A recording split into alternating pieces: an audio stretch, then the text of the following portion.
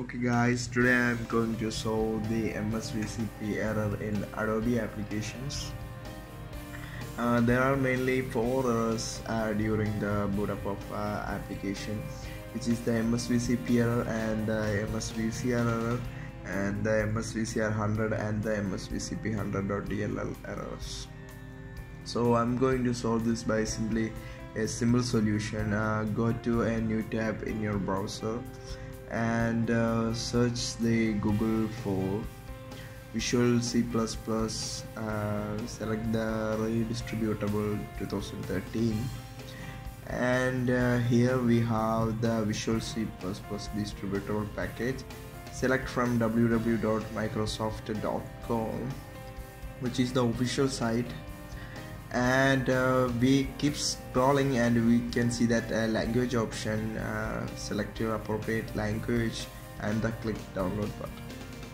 When the download button is uh, came uh, you can select three files here which is sized up to 14.4 megabytes.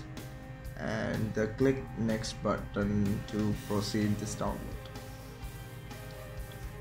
when the download is complete you will get uh, three files which is an 86 and a 64 bit version. Uh, here I am going to select the 64 version and I'm already installed this application so I'm going to select repair and uh, it will install the files.